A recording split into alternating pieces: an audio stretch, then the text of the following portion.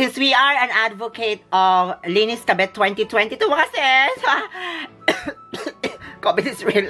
what you gonna do, what we gonna do is, anywhere we go this day, mga sis, we should always get yung karatula para, you know, makapag, makapaghatid ng awareness na bawal maging kabet this 2022.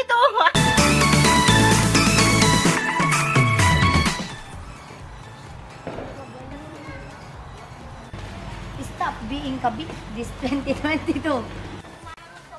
At ako kumamay toy, hanang ka sungit-sungit at ikugtar ka ni.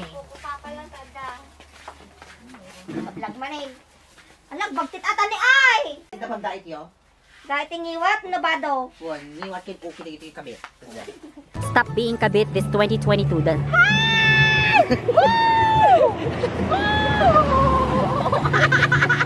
Stop being kabit ko na lang kay Suna mo mismo kabit.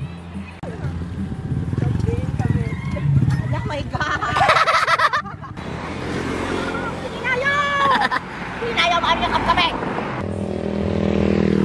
Eh, lumabas ka kami! Talagpagtit yan doon, okay. Tadalan ni Gra. Yung mga bagti niya. Alot.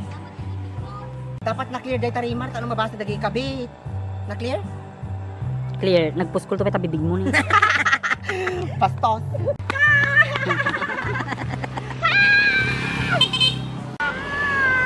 Eh, doon pa na dari na.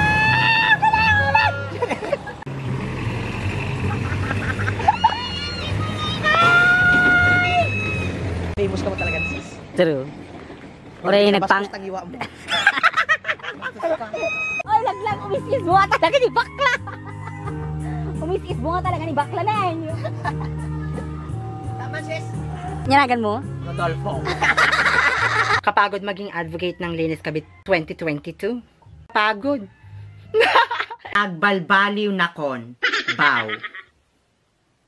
Tata nga baro nga tawen, agbalbaliw na kon. No duwa tilakay ko ide, na yunak pa'y talo, ta no lima danton. Mamati na nga mas ad-ado ti kwartak, no ad-ado ti kabit ko.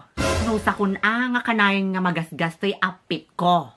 At pa nga baro nga tawen, agbalbaliw akon. No pink ti lepestek ko ide, nalabaga ti ikabil kon. Ipaturay ko nga di pirmi labaga na ti subil ko. At no di five nga kayat ko nga kabet, manayunan pa'y talo. At ta nga baro nga tawen, agbalbaliw na kon. Di pek-pek shorts ide, no agrampanak, nakabikini nakton. Pa-insecure to manin adag iti legal wife.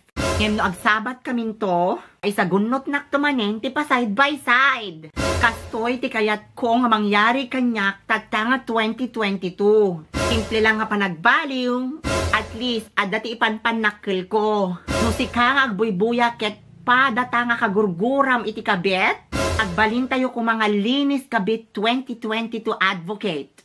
Kunatay kabit, agbalbaliw na kon. Bow.